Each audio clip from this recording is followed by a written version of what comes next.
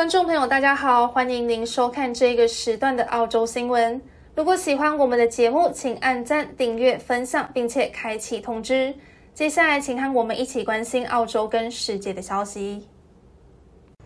基于国家安全因素，为了阻止中国在印太地区扩张的经济跟军事实力，澳洲政府考虑向澳洲电信公司等大型企业招手，试图动员澳洲企业竞购六国的移动网络。以免让网络通信业务落入中资手里，进而得以监看澳洲的一举一动。综合媒体报道，澳洲政府依照加强介入太平洋政策，已经考虑拨款支援澳洲私人企业，以便吸引澳洲私人企业竞购 Digicel。澳洲最大电信企业澳洲电信昨天表示，正在考虑在巴布亚新几内亚、斐济、诺鲁、萨摩亚、东加以及万纳度收购移动网络。澳洲政府将帮助支付相关收购款项，而这些网络目前由总部位在牙买加的 Digicel 拥有的。报道指出，先前中国央企有意收购 Digicel，引起澳洲内阁国家安全委员会的关注。澳洲政府担心，如果 Digicel 所掌握的网络业务落入中国政府手里，中国就可以监控澳洲，并且可以取得包含巴纽、斐济、东加、万纳度、萨摩亚等国家的敏感资讯，甚至可以扰乱相关国家的运作。因此，澳洲政府决定向澳洲电信业龙头澳洲电信公司跟其他大型企业招手，试图动员澳洲企业参与竞购跨行通讯企业 Digicel 的行列。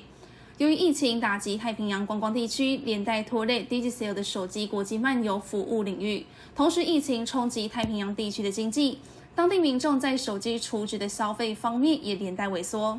澳洲金融评论报分析，随着澳洲跟中国关系的恶化，澳洲基于国安理由鼓励私人企业竞购 Digicel 的消息，可能会使得该间公司的股东受贿。澳洲贸易部长上个月也宣布一项新的立法。对澳洲出口的信贷机构授予新的权利，可以为服务该国国家利益的交易提供资金。不过，这项立法目前尚未安排在进行国会辩论，而上述投资有望成为该立法宣布之后的第一笔交易。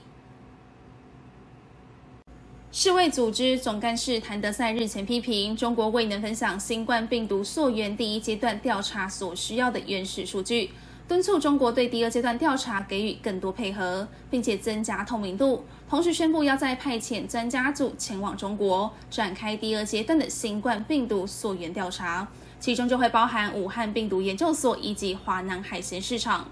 而尽管先前因为呼吁对新冠病毒展开独立调查，引起中国祭出一系列报复举措，澳洲总理莫里森依旧表示，澳洲政府将会持续争取贯彻调查疫情起源。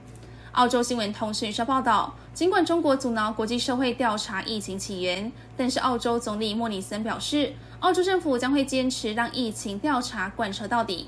莫里森说，澳洲政府提倡独立调查的举动并不涉及政治动机，而是因为疫情破坏了全球数以百万计民众的生活，全世界都需要并且有权利了解事情真相。澳洲政府将会持续争气调查实情。莫里森并没有透露他对疫情来源的看法，而对于疫情是否源自武汉实验室的问题，他也表示目前还不够了解，因此无法推断。不过，澳洲新闻通讯社表示，已经有多位国际顶尖科学家公开指出，有重大证据显示新冠病毒是源自武汉实验室。世界卫生组织在上个礼拜五举行闭门会议时，总干事谭德赛也表示。新冠病毒溯源调查的第二阶段应该更深入调查武汉实验室以及最新传出疫情的华南海鲜市场。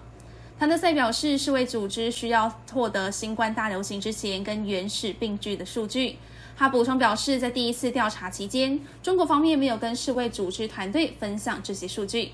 谭德赛坦诚，先前是为中国考察组否认实验室泄露病毒的结论是过早推断。目前还无法排除实验室发生事故的可能性。他呼吁中国方面提供武汉实验室的明确信息。新冠疫情目前已经造成全球四百多万个人死亡，世卫组织面对的压力越来越大。国际社会呼吁进一步的病毒溯源调查。而新冠疫情在二零一九年底首次在武汉出现，直到一年多之后的今年一月，世卫专家才派出独立调查团队去中国协助调查疫情起源。而调查团队在三月下旬发布的一份报告，但是该调查却因为缺乏透明度跟讯息提供渠道，以及没有对实验室泄露进行更深入的评估而饱受批评。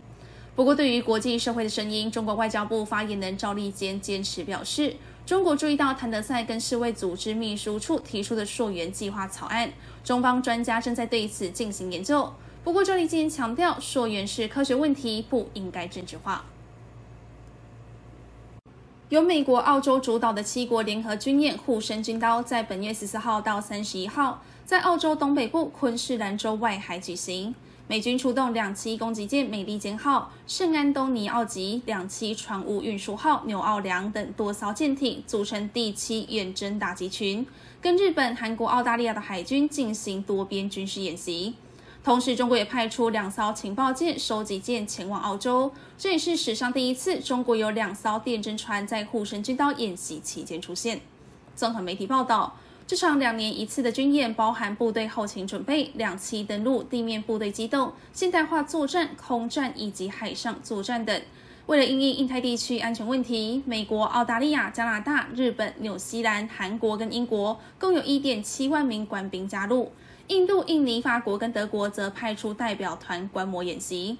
美国海军太平洋舰队司令部公布多组照片，显示“美利坚号”、“纽奥良号”跟两艘日本海上自卫舰“大鱼级”坦克登陆舰混合编队进行双边演习。而太平洋舰队也揭露，美军舰队搭载第三十一海军陆战队远征队。从出动的舰艇种类跟军种兵力来看，不能看出出征将以进行夺岛、登陆作战为主的军事演习。不过，澳洲国防部长杜登发布声明证实，在今年护身军刀跨国军演期间，澳洲军方发现中国派出两艘情报收集舰前往澳洲。中国先是在上个礼拜派出海王星号，周末又派出天王星号，跟外界相信这两艘中国情报收集舰是要密切监视护身军刀跨国军演，而这也是第一次发现有两艘中国情报舰逼近监控。不过，目前为止，这两艘中国情报收集舰的活动范围均属于合法行为。澳洲国防部将持续监视之中。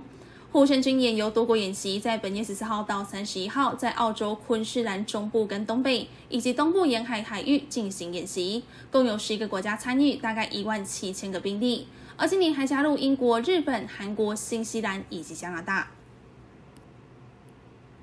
自从去年七月，澳洲主张调查疫情起源，引起中国不满，并且针对一系列澳洲产品进行经济报复，双方关系就不断恶化。而如今战场已经蔓延至太平洋岛国，特别是巴布亚纽几内亚，澳洲正在努力在太平洋岛国抗衡中国的疫苗外交。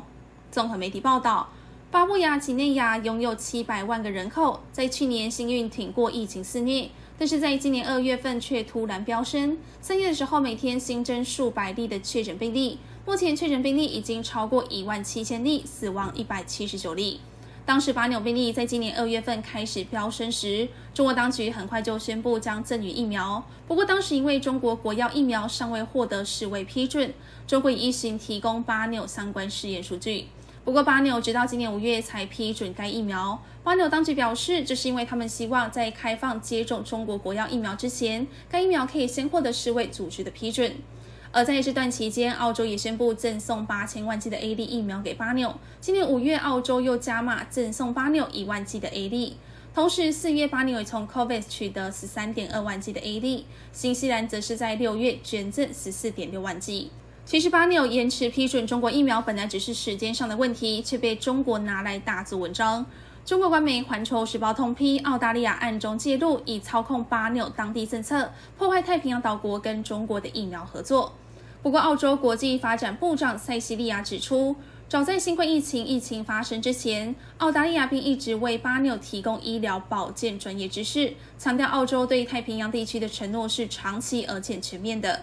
澳洲太平洋事务部长塞索加也正面回击，澳洲将支持巴纽做出主权决定，表示澳洲在疫情期间派遣卫生组织专家前赴巴纽，强化当地政府系统，并且提供前线跟后勤支援，但是并没有针对中国疫苗的效力给出建议。这场疫苗外交战也凸显出太平洋岛国的战略重要性。太平洋地区共有十四个岛国跟领土，人口大概一千万，地理位置介在美国跟亚洲之间。对于澳洲跟中国来说，是可能的军事集结地以及潜在防御设施地点。传统上，该地区经常接受澳洲的金援。不过近几年，中国也透过大笔投资基础建设，大力挖角澳洲的墙头，而两国在这个区域也持续角力。据了解，中国至今为止已经向所罗门群岛、巴纽以及万纳度赠送二十七万剂疫苗。不过贡献显然远不及已经提供将近六十万剂，并且承诺再加码一千五百万剂疫苗的澳洲。专家指出，尽管万纳度跟杜所罗门群岛的高官们公开施打中国疫苗，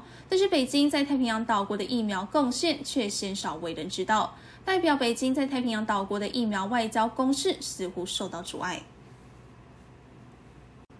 中国去年对澳洲实行经济胁迫，造成中澳关系恶化。而根据统计，去年中国对澳洲投资总金额为二十五亿美金，同年比降幅高达百分之二十六点八，也创下二零零七年以来的新低。更有百分之七十五的中国投资人表示，正是因为政治因素导致他们不愿意投资。不过，铁矿业依旧稳居中国对澳洲投资宝座冠军，而币值更直逼将近百分之四十。综合媒体报道，安侯建业跟雪梨大学联名出了一份名为《解密中国在澳洲投资》的报告，内容涵盖投资、兼并、收购、合资以及农业项目，但是不包含股票、债券以及私人住宅购买。结果显示，二零二零年来自中国的投资总金额为二十五亿，比二零一九年的三十四亿下降百分之二十七，交易数量从二零一九年的四十二笔大幅下降到二零二零年的二十笔。同比下降大概百分之五十。而若以个别产业来观察，中国对澳洲投资方面，